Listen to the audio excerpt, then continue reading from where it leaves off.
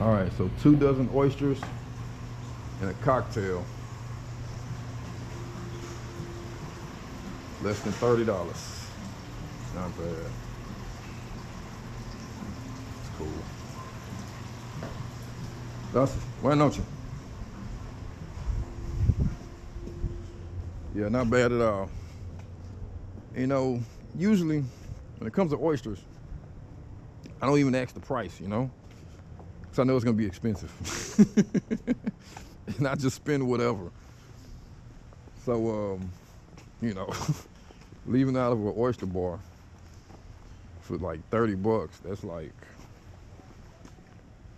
Now, does that does that mean that I'm putting these oysters above East Coast oysters because of the price? Not at all. But, you know, it's nice little extra. I think it was uh, 10 bucks uh, for a dozen. That's what it was. $10 for a dozen. And then I ordered a drink, so yeah.